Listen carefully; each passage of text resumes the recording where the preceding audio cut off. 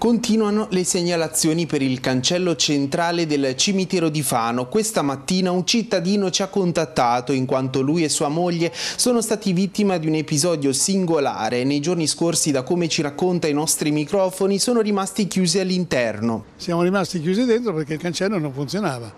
Che, che ne dica la, la custode qua che se uno lo spinge, io non l'ho spinto, non l'ho toccato, però il pulsante non funzionava, il cancello era chiuso e io sono rimasto dentro. Dopodiché è venuto il custode, con la sua chiavetta ha aperto il cancello. Se non veniva il custode ancora ero io dentro. Il signore di origine sicula è solito a recarsi al cimitero di Fano in quanto spesso viene a trovare la tomba dei familiari. Secondo quanto ci ha riportato avrebbe premuto il pulsante rosso di emergenza una volta accorto che l'ingresso del cancello del cimitero era già stato chiuso.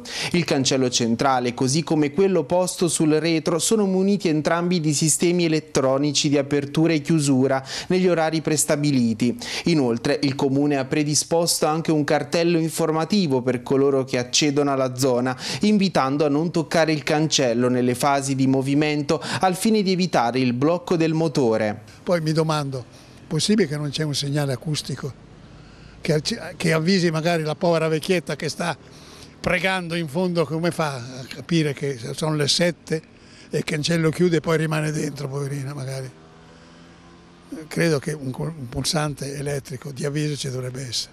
Un po' di organizzazione comunque non guasta, eh? non guasta mai, un po' di organizzazione. Se facciamo le cose alla paesana succede quello che succede.